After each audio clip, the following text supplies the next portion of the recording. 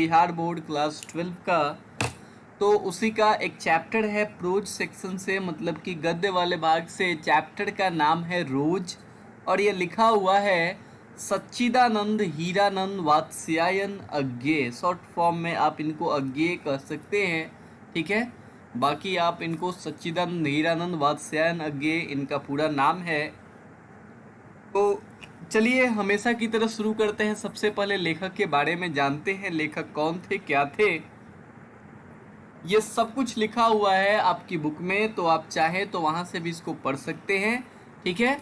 लेखक का जन्म हुआ था सात मार्च 1911 ईस्वी को, और इनका जो निधन हो गई थी इनकी, इनका जो मृत्यु हो गया था, वो हो गया था चार अप्रैल उन्नीस सौ सत्तासी को। ठीक है? जन्म इनका कहाँ हुआ था? कौशेया कुशीनगर, उत्तर प्रदेश। उत्तर प्रदेश में एक जगह है कुशीनगर। वहीं पे इनका जन्म हुआ था।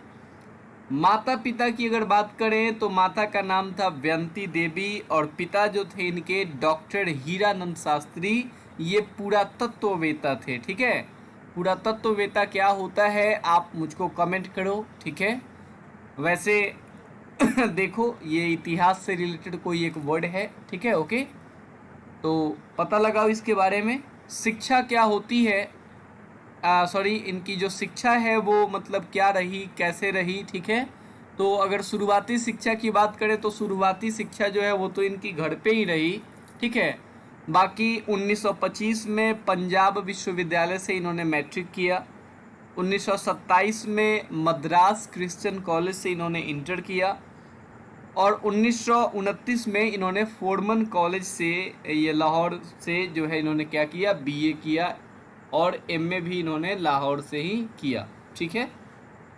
लाहौर, जैसा कि आपको पता है, अभी प्रेजेंट डे लाहौर जो है पाकिस्तान में पड़ता है। उस समय के ये मतलब कि उन्नीस सौ जो है उस समय तो वो सब कुछ भारत ही था। ओके? भाषा की बात करें तो भाई भाषाविद थे, बहुत सारी भाषाओं का ज्ञान था। संस्कृत, अंग्रेज़ी, हिंदी के तो एकदम अच्छे खासे जानकार थे। इसके अलावा फारसी, तमिल भी इनको आती थी और इसके अलावा भी और भी बहुत सारी भाषा जानते थे। दुनिया में अगर आप सफल होना चाहते हो तो एक आसान सा तरीका है कि आपके पास बहुत सारी भाषाओं का नॉलेज होना चाहिए। बहुत ज़रूरी है लैंग्वेज स्किल आपके लिए इनकी अभिरुचि की बात करें, किस चीज़ में इनको इंटरेस्ट था? तो इनको इंटरेस्ट था बागवानी में, पर्यटन में फोटोग्राफी में, हस्तकला, शिल्पकला, ठीक है? इन सारी की सारी चीज़ों में ये प्रवीण थे। प्रवीण का मतलब मतलब ऐसा नहीं है कि इंटरेस्ट था तो बस ऐसे ऐसे ही कर लिया, ठीक है? जब आपका किसी चीज़ में इंटरेस्ट होता है तो आप उसको पूरे दिल से करते हो, ठीक है? तो ये चीज़ होता है, अगर इनके कृतियों की बात करें मतलब जो इनकी लिखी हुई रचनाएँ हैं तो एक इनकी रचना है, छोड़ा हुआ रास्ता, बड़ा ही इम्पोर्टेंट है ये। एकदम से याद रखना है, छोड़ा हुआ रास्ता और शेखर एक जीवनी। ये दो इनकी जो रचनाएँ हैं, बहुत महत्वपूर्ण रचना है, ठीक है? इसके अलावा मैं अगर आपको कहूँ कि मैंने इसमें महत्वपूर्ण रचनाओं को ही शामिल किया है, शेखर एक जीवनी तो मोस्ट इंपॉर्टेंट है। इसके लिए ये जाने जाते हैं अज्ञे ठीक है? उत्तर प्रियदर्शी एक नाटक है, सदा नीरा और अंतरा। अंतरा याद रखिएगा, अंतरा भी इम्पोर्टेंट है, ठीक है? सम्मान की अगर बात करें तो साहित्य अकेडमी पुरस्कार, भारतीय ज्ञानपीठ पुरस्कार, ये सब कुछ पा चुके हैं। ठीक है? अज्ञे ओके? आगे चलते हैं तो रविंद्रनाथ ठाकुर जो है, इन्होंने लिखा था गोड़ा ठीक है? गोड़ा। गौड़ा नहीं है, ओके? गोड़ा। और इसका इन्होंने हिंदी में ट्रांसलेट किया था रविंद्रनाथ ठाकुर के रचना गोड़ा को। तो आपसे एग्ज़ाम में पूछा जा सकता है कि रविंद्रनाथ ठाकुर के किस रचना को अज्ञे ने क्या किया? हिंदी में रूपांतरित किया उसको मतलब कि हिंदी में ट्रांसलेट किया। तो ध्यान रखिएगा, गोड़ा का इन्होंने अनुवाद किया था। नव आगे चलते हैं और बात करते हैं समरी की। समरी इस तरीके से हम लिखते हैं कि आप उसको एग्ज़ाम में लिख सकते हैं। एकूरेट उसी तरीके से, कोई दिक्कत नहीं है एग्ज़ाम में लिखने में ओके लेकिन अभी तक आपने अगर हमारे चैनल को सब्सक्राइब नहीं किया तो सब्सक्राइब कर लो और वीडियो ठीक ठाक लग रहा हो तो लाइक ज़रूर कर देना, ठीक है ना? ओके और भाई देखो लाइक बिना किए, बिना शेयर किए हुए भाग जाते हो ना कभी कभी अब उपाय करना पड़ेगा तुम लोगों का, ठीक है ना? ऐसे भागते हो, जिस दिन पकड़े जाओगे ना, उस दिन बताएँगे ओके ना अब देखो समरी देखो। आगे भागना नहीं है ओके ये कहानी है, सबसे पहले चीज़ क्या है कि ये कहानी है, ठीक है ना? रोज जो है, पूछा जाएगा आपसे परीक्षा में कि रोज जो है, ये गद्य की कौन सी सॉरी साहित्य की कौन सी विद्या है? तो ध्यान रखिएगा, साहित्य की बहुत सारी विद्याएँ होती हैं। कहानी, कविता, नाटक, निबंध, ललित निबंध, यात्रा वृत्तांत, ये सब कुछ साहित्य की विद्याएँ होती हैं। तो ये कौन सी विद्या है? उसकी कहानी है, ओके?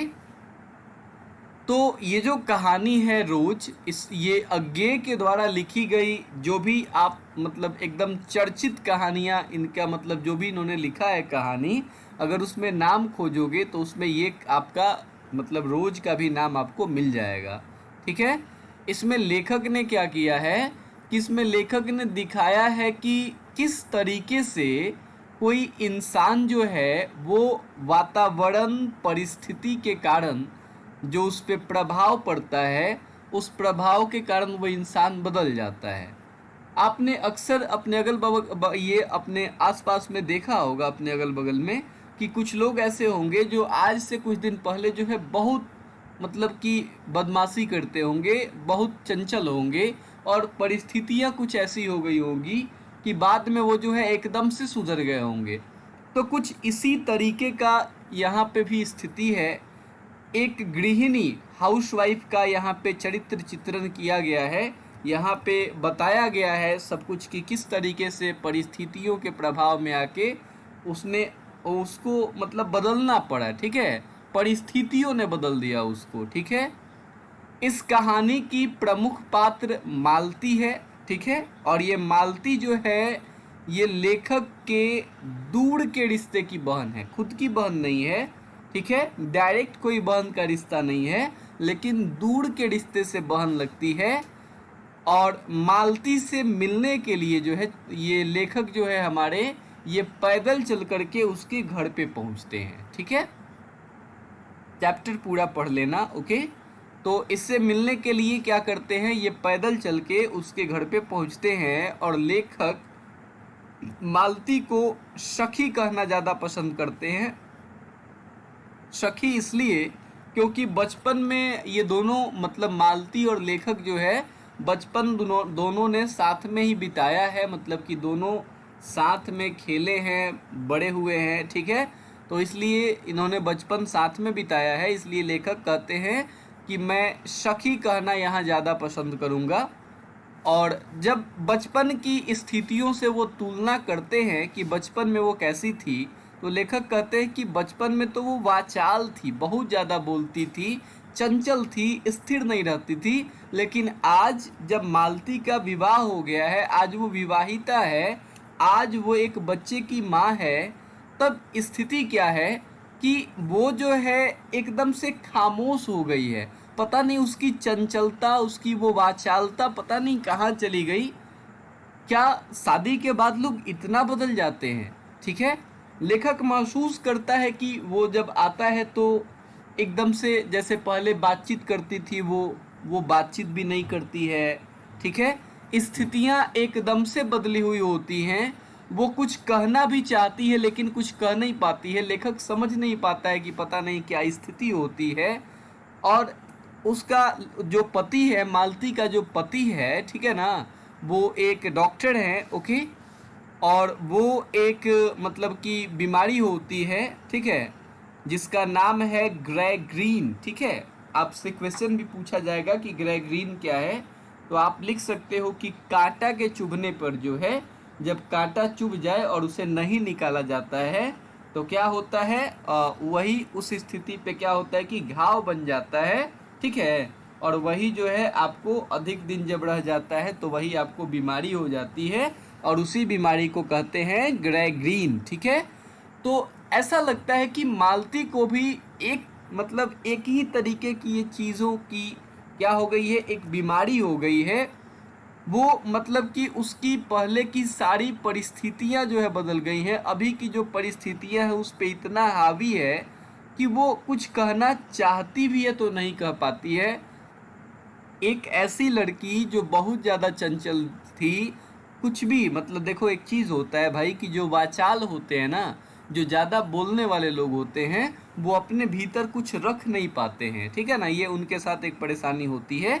तो वही लेखक कहते हैं कि आज उसकी स्थिति ऐसी हो गई है कि वो बस भर दिन काम करती है, बच्चे की देखभाल करती है, पति का इंतज़ार करती है, बस रोज का उसका यही जीवन रह गया है। चैप्टर रोज इसलिए लिखा गया है कि उसका जीवन सिमट गया है। चैप्टर का नाम पहले जो है, ये ग्रेग्रीन ही था चैप्टर का नाम, ठीक है? बाद में लेखक ने इसको खुद जो है चेंज कर दिया और इसका नाम जो है लेखक ने रोज कर दिया, ठीक है? रोज क्यों पढ़ा आपको समझ में आ रहा होगा कि उसकी ज़िंदगी एकदम से स्थिर हो गई है। रोज का वही रूटीन हो गया है उसका, ठीक है? लेखक जो है कहते हैं कि यहाँ पे पता नहीं किस तरीके का प्रभाव उसको पड़ा है उसके उसके ऊपर, ठीक है? किस तरीके का मतलब वातावरण ने उसके ऊपर प्रभाव डाला और इस प्रभाव को लेखक ने बड़ी ही कुशलता के साथ इस चैप्टर में व्यक्त किया है, उस प्रभाव को दिखाया है। उसके एक एक पहलू को लेखक ने इस चैप्टर में उजागर किया है कि उसके पति जो है वो काम पे चले जाते हैं, उसके बाद पूरा दिन वो घर में अकेले ही बिताती रह, बिताती है, ठीक है? उसका पुत्र जो है बीमार होता है, कमज़ोर होता है शरीर से, वो हर समय या तो रोता है, नहीं तो सोता रहता है, ठीक है? स्थिति ऐसी होती है और मालती जो है वो दिन भर मतलब कि एकदम सुबह से लेके रात के 11 बजे तक वो घर के काम करती रहती है, शिशु का देखभाल करती है, बच्चे का देखभाल करती है, इसी में बिज़ी रहती है। ठीक है? एकदम से उसकी पूरी ज़िंदगी ही बदल गई है। ठीक है? और वो ऐसा लग रहा है कि जैसे वो जो है, एकदम उब गई है, उदास है, ले और किसी भी तरीके से इस उबाऊ और उदासी बड़े जीवन को वो क्या कर रही है? वो ढो रही है, ठीक है ना? तो इस तरीके से लेखक ने इस चैप्टर में क्या किया है? एक, जैसे हम लोग जो है मिडिल क्लास फैमिली से आते हैं, ठीक है? मैं आता हूँ मिडिल क्लास फैमिली से ओके और मध्यम वर्गीय परिवार में हमारे समाज में जो है, घरेलू परिस्थितियाँ क्या होती हैं? एक स्त्री के जीवन की मनोदशा क्या होती है? इसी चीज़ को दिखाने का प्रयास लेखक ने इस चैप्टर में किया है। तो आशा करता हूँ ये चैप्टर आपको समझ में आया होगा।